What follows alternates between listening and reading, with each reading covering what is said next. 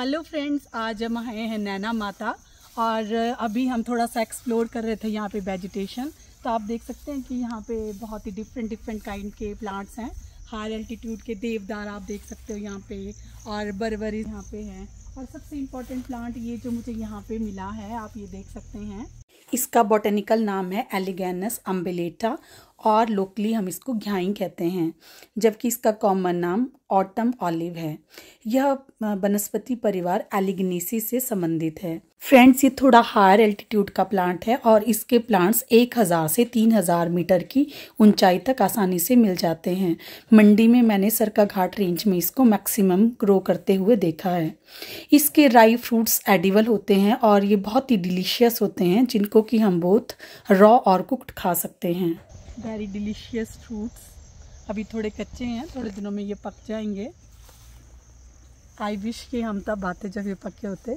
तो we can have a taste of ripe fruits अगर हम इनकी फ़ूड वैल्यू की बात करें तो ये रिच हैं प्रोटीन और विटामिन सी में।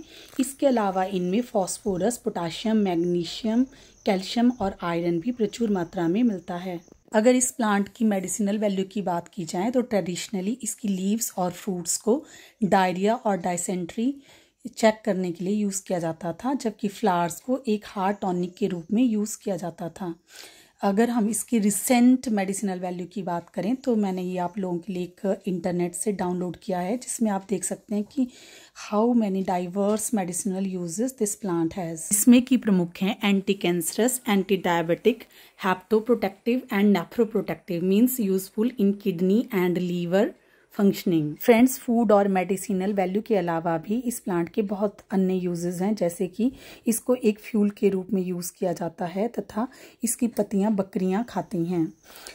ब्यूटीफुल फ्लावर और सिल्वरी वाइट लीव्स होने की वजह से इस प्लांट को हम एक ऑर्नामेंटल प्लांट के रूप में ग्रो कर सकते हैं। एक चीज़ जो इस प्लांट में बहुत स्पेशल है, वो ये है कि इसके फ्रूट्स रूम टेम्परेचर पर 15 डेज़ तक स्टोर किए जा सकते हैं।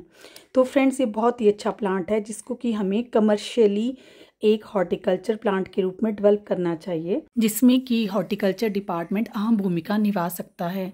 हम एक ऐसी वैरायटी डेवलप कर सकते हैं, जिसमें कि फ्रूट साइज़ थोड़ा सा बड़ा हो, और इस तरह ये जो वैरायटी होगी, एक क्लाइमेट रेजिलियंट फ़ूड क्रॉप हो सकती है, जो कि लोगों की हेल्थ प्रमोट करने और लाइवलीहुड प्रमोशन में अहम भूमिका निभा सकती है। So friends that's all for this plant I hope this information is useful to you thank you for watching and listening